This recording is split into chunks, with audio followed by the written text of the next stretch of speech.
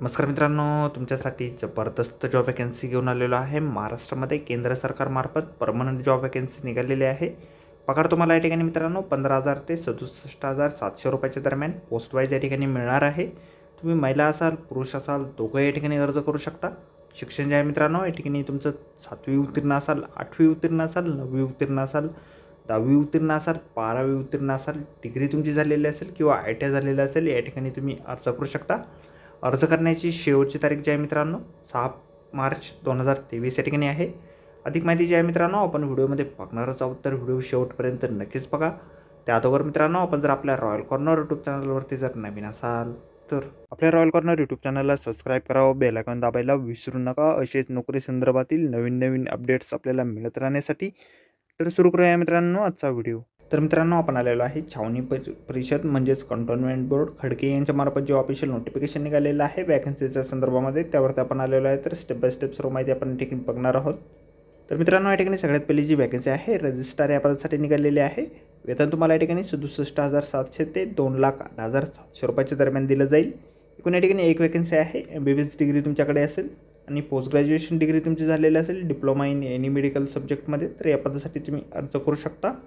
त्यानंतर मित्रांनो पुढची वॅकन्सी ठिकाणी आहे. पेडियाट्रिशियन या पदासाठी पगार तुम्हाला सेम या ठिकाणी आहे. सदुसष्ट हजार सातशे ते दोन लाख आठ हजार सातशे रुपये. एक वॅकन्सी या ठिकाणी आहे. M B B S degree या ठिकाणी देखील लागेल. त्यानंतर मित्रांनो पुढची वॅकन्सी ठिकाणी आहे. असिस्टंट मेडिकल ऑफिसर या पदासाठी छप्पन हजार शंभर ते एक लाख सत्याहत्तर हजार पाचशे रुपयाच्या दरम्यान वेतन तुम्हाला मिळेल. तीन वॅकन्सी एकूण या ठिकाणी आहे? M B B S degree या ठिकाणी देखील तुमची लागणार आहे. त्यानंतर मित्रांनो फार्मासिस्ट या पदासाठी पुढची वॅकन्सी आहे. एकोणतीस हजार दोनशे ते ब्याण्णव हजार तीनशे रुपयाच्या दरम्यान वेतन तुम्हाला मिळेल. एक वेकन्सी ठिकाणी आहे. बारावी उत्तीर्ण तुम्ही असाल आणि डिप्लोमा ही फार्मसीमध्ये झालेलं असेल किंवा फार्मसी किंवा एम फार्मसी तुमचं झालेलं असेल तर या पदासाठी तुम्ही अर्ज करू शकता. रजिस्ट्रेशन झालेलं तुमचं या ठिकाणी आवश्यक आहे.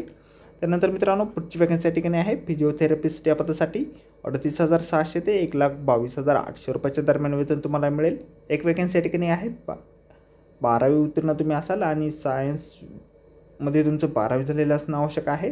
आणि डिप्लोमा इन फिजिओथेरपीमध्ये तुमचं झालेलं असेल तर या पदासाठी तुम्ही अर्ज करू शकता. त्यानंतर मित्रांनो एक्स रे टेक्निशियन या पदासाठी पुढची वॅकन्सी आहे. पस्तीस हजार चारशे ते एक लाख बारा हजार चारशे रुपयाच्या दरम्यान वेतन मिळेल.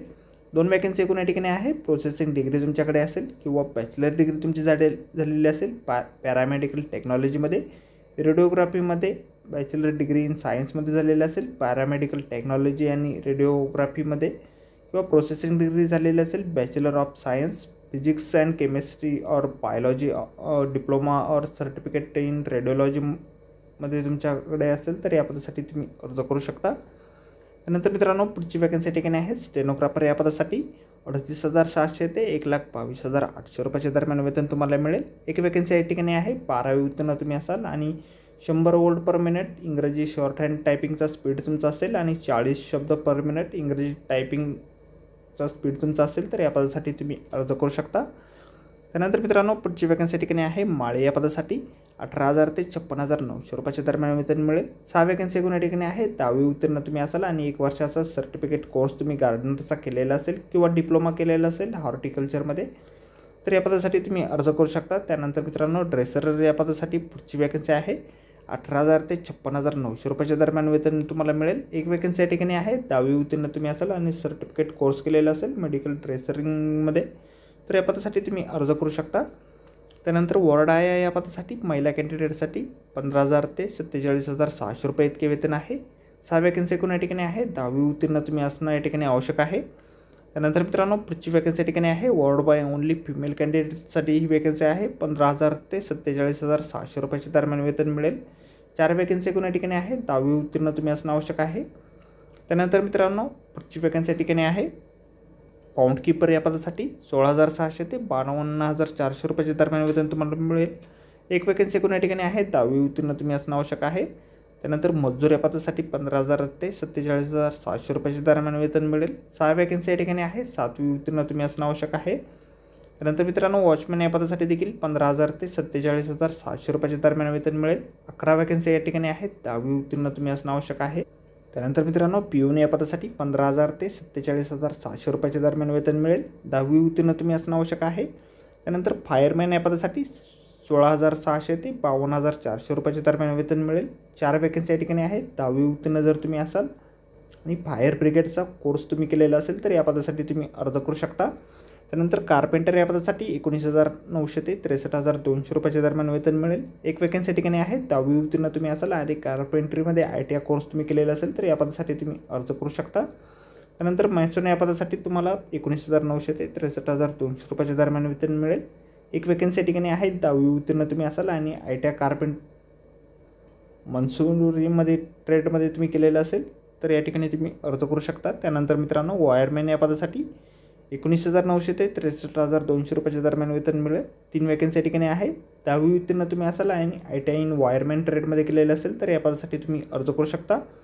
त्यानंतर मित्रांनो सॅनिटरी इन्स्पेक्टर या पदासाठी तीन वॅकन्सी आहेत. पंचवीस हजार पाचशे ते एक्क्याऐंशी हजार शंभर रुपयाच्या दरम्यान वेतन मिळेल. बारावी उत्तीर्ण तुम्ही असाल आणि डिप्लोमा इन सॅनिटरी इन्स्पेक्टरमध्ये तुमचं झालेलं असेल तर या पदासाठी तुम्ही अर्ज करू शकता. वय त्यानंतर मित्रांनो स्वीपर या पदासाठी पंधरा हजार ते सत्तेचाळीस हजार सहाशे रुपयाच्या दरम्यान वेतन मिळेल. सदोतीस वॅकन्सीज एकूण या ठिकाणी आहेत. कॅटेगरीनुसार वॅकन्सी आपण या ठिकाणी बघू शकता. सातवी उत्तीर्ण तुम्ही या ठिकाणी असणं आवश्यक आहे. अर्ज जे आहे मित्रांनो आपण या ठिकाणी ऑनलाईन आणि ऑफलाईन अशा दोन्ही पद्धतीने या ठिकाणी करू शकता. ऑनलाईन अर्ज करण्यासाठी वेबसाईट या ठिकाणी दिलेली आहे. त्याचबरोबर ॲड्रेस देखील तुम्हाला बी डी एफमध्ये देण्यात आलेला आहे. फीस पेमेंट जे आहे मित्रांनो ओपन आणि ओ बी सी कॅटेगरीसाठी मेल कॅन्डिडेटसाठी सहाशे रुपये फीस पेमेंट या ठिकाणी आहे. आणि S S T E W S कॅटेगरीसाठी आणि एक्स सर्व्हिसमॅन महिला कॅन्डिडेट फिजिकल हँडिकॅप ट्रान्सजेंडर ए कॅन्डिडेटसाठी तीनशे रुपये फीस पेमेंट या ठिकाणी आहे. डी डीच्या माध्यमातून तुम्हाला या ठिकाणी पेमेंट करायचे आहे डी डी जो आहे मित्रांनो chief executive officer Khadki cantonment board या नावाने तुम्हाला काढायचा आहे. ऑफलाईन अर्ज करण्यासाठीचा ॲड्रेस या ठिकाणी आपण बघू शकता. अधिक माहितीसाठी मित्रांनो या ठिकाणी तुम्हाला ईमेल आय डी आणि मोबाईल नंबर देण्यात आलेला आहे. त्यावरून तुम्ही डायरेक्टली सर्व माहिती या ठिकाणी विचारू शकता. काही शंका असेल तर त्याचे निराकरण तुम्ही या ठिकाणी कॉन्टॅक्ट करून या ठिकाणी करू शकता. तर आजच्या व्हिडिओमध्ये एवढेच मित्रांनो. व्हिडिओ जर आवडला असेल तर व्हिडिओला लाईक आणि शेअर नक्कीच करा.